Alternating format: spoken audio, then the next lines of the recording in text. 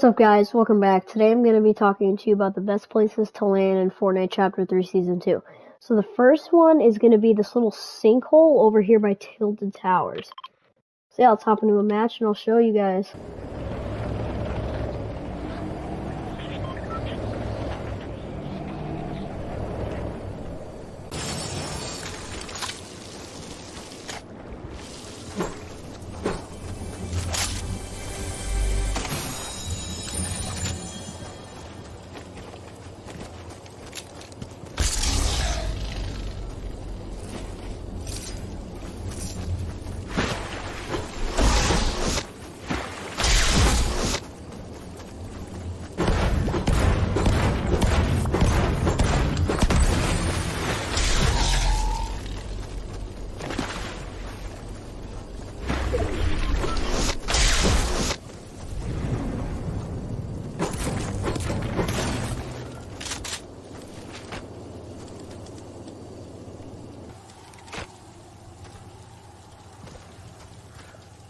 Alright guys, the next best place to land is to be up here by Sleepy Sound right here.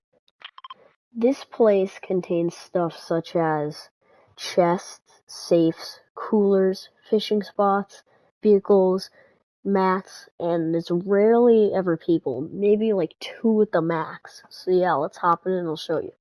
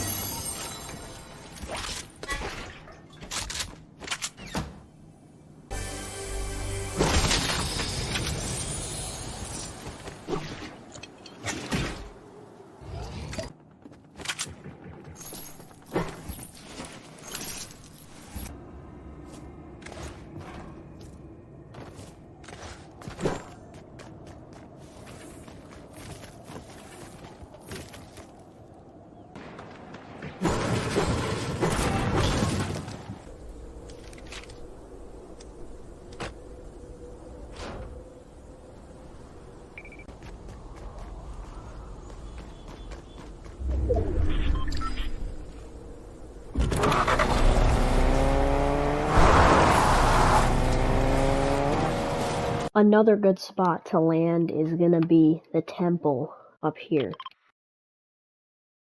Now, it contains stuff such as chests, slurp barrels, vehicles, things to harvest for mats, and the Daily Bugle's nearby. And only up to around four people land there. Usually not many land there. So yeah, let's hop into a match and I'll show you.